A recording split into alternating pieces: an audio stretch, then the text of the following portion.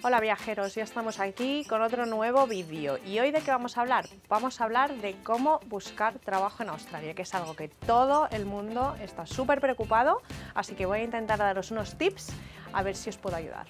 La mayoría de los estudiantes de OSI que vienen a Australia tienen un nivel medio de inglés. Medio significa cuando llegamos aquí que vamos muy perdidos. Entonces, los trabajos a los que aspiramos son limpieza, trabajar en cocinas, mudanzas, jardinería, babysitter, es decir, que no tengamos un contacto muy directo con el cliente.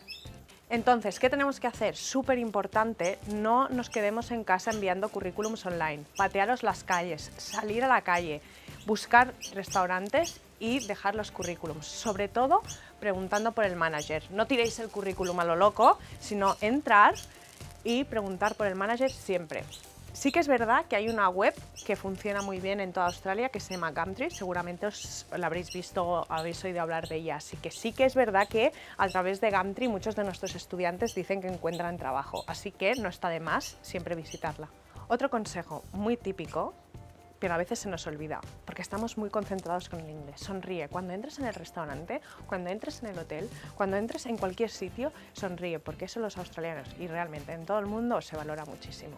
¿Cuál es el salario mínimo en Australia? Hoy por hoy, 17 dólares la hora. No deberíamos trabajar por menos de eso, tenerlo claro. Es verdad que el salario mínimo o el salario que cobran los estudiantes varía mucho dependiendo de la location, ¿vale? No, se cobra lo mismo en Sydney que en Melbourne, ni se cobra lo mismo en Melbourne que en Byron Bay. Es decir, siempre preguntar a vuestro listener cuál es la media ¿no? que cobran entre semana y fin de semana, que varía bastante. El currículum, súper importante. El currículum australiano es diferente al currículum español. Lo más importante es que no le pongáis foto, ¿vale? No lleva fotografía.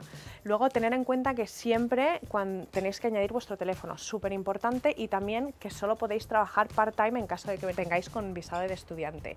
Es importante también que hagáis una pequeña descripción de vuestra experiencia arriba, pero bueno, si tenéis cualquier duda os podemos enviar modelos de currículum australiano.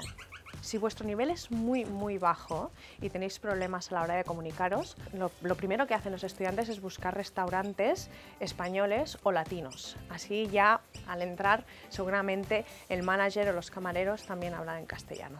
Una vez empezáis a buscar trabajo os daréis cuenta de que muchos sitios os piden el RSA, por ejemplo, o también gente que hace cursos para eh, barista. Importante, si vais a trabajar eh, con bebidas alcohólicas, el RSA os lo deberéis sacar. Lo podéis hacer online o presencial. Solo tenéis que buscar RSA New South Wales si vais a Sydney o RSA Queensland si vais a, Brisbane y simplemente hacer un test online.